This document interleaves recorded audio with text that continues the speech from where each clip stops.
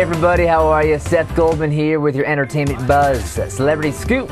We'll get to our Eva Longoria poll results in a sec, but first, Lindsay Lohan has now confirmed what we've all been speculating for months now. The actress is hot for DJ.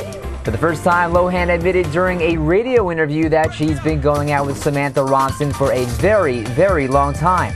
My guess is at least six months. In addition, a statement to New York Post, Lindsay says she cares for Samantha very much, that she's a wonderful person, she loves her, and vice versa. All right, so as Lilo pretty much admits that she's playing for the other team now, Clay Aiken has now boldly done the same. In the new issue of People magazine, the former American Idol runner-up reveals that he's gay. Not much of a shocker, we've been speculating that for years now, so uh, why come out of the closet now? The Spamalot actor says with the birth of his son last month, he realized he cannot raise a child to lie or hide things. And now to Britney Spears, who certainly never hides things, sometimes revealing too much, if you know what I mean. Anyway, the latest item she's letting us know about the price tag of her Studio City home.